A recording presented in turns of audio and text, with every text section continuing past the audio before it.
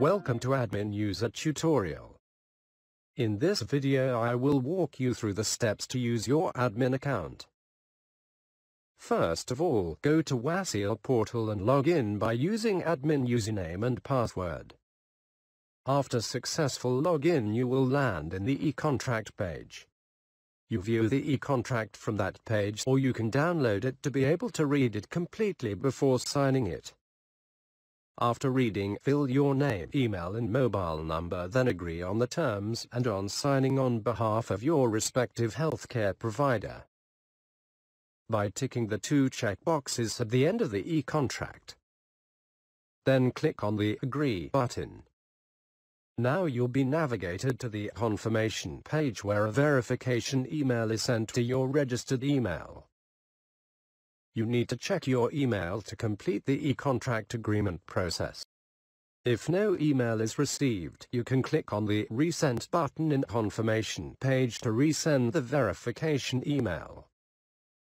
It is recommended to download the e-contract by clicking on the Download as PDF button for your future reference. After receiving the confirmation email, you need to verify your account by clicking on Verify Now button or copy the link and paste it in the web browser.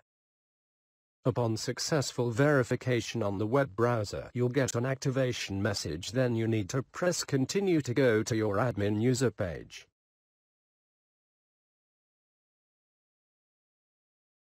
Now you accessed your admin user account successfully. Go to the Provider Admin menu tab on the left side and click on User Management sub-tab. You'll be navigated to Manage Users page where you can create new users or update existed users from a list of all users if you have created any. If you need to create a new user you can click on Create User icon then fill all the required fields.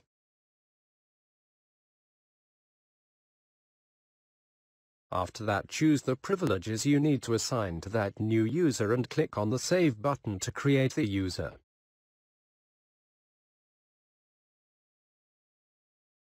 Also you can update an existed user information by going to the list of existed users and clicking the Edit User button on the right end of the selected user row.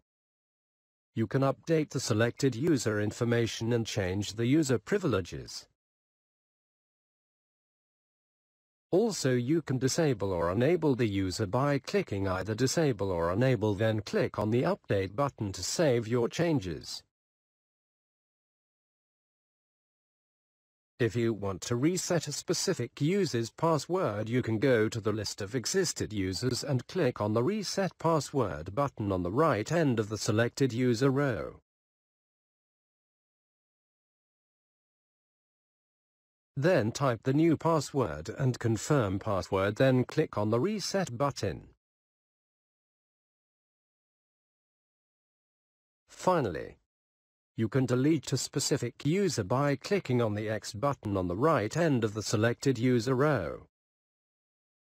Then a confirmation message will appear to confirm deleting the user. Thank you so much for watching.